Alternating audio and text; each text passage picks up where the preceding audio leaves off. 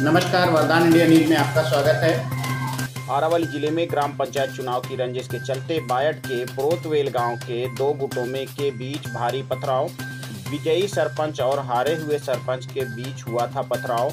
गाँव की दूध कंपनी के सामने दोनों गुटों में हुई मारपीट। मारपीट में पाँच लोग गंभीर रूप से घायल हो गए और गंभीर रूप से घायलों को इलाज के लिए वटरक अस्पताल में कराया गया भर्ती। साठ मबाब पुलिस मौके पर पहुँची। संवाददाता भरत ठाकुर, वरदान इंडिया न्यूज़ की लाइव रिपोर्ट।